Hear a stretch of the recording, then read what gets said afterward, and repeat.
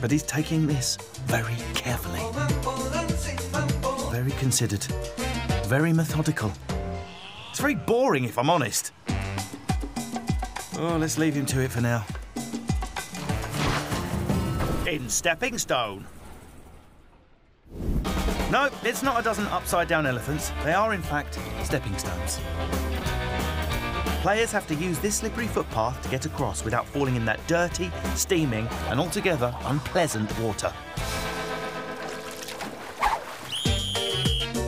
Char's up first. A bit of confidence. Now, that is something I really like to see. Yeah, misplaced confidence, as it turns out. See you later, Char. Here comes the next one, over the hill from far away. And it looks like he should have stayed far away from this game. That was terrible.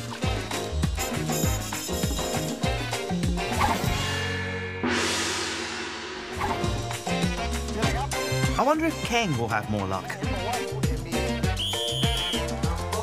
Well, he seems to have forgotten his shoes for starters, so I wouldn't hold your breath.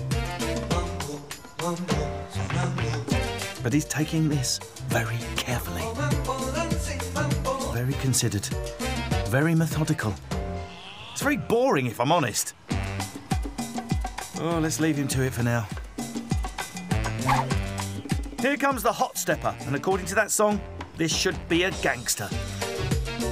Well, he's going for a true gangster's end, swimming with the fishes. Hey, this is Vin. Shot for Vincent or Vinny. You know? Like in the Mafia. Look how easily he gets over these stones. Fix. I'm saying nothing. Here's our old friend Keng, as slow as before. Come on, mate, there are sloths in those trees. Trying to fast forward this bit. Ugh. Who's the next one? This guy's putting in a lot more effort.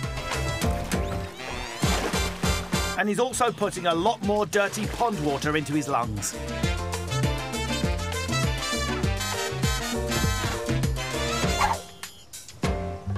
This guy's making a quick trip as well. A quick trip to the hospital by the look of it. There's not many winners today, are there? Yep, it's doing my head in as well.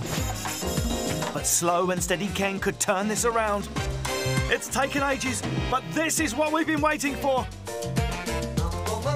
Oh, not really worth it, was it?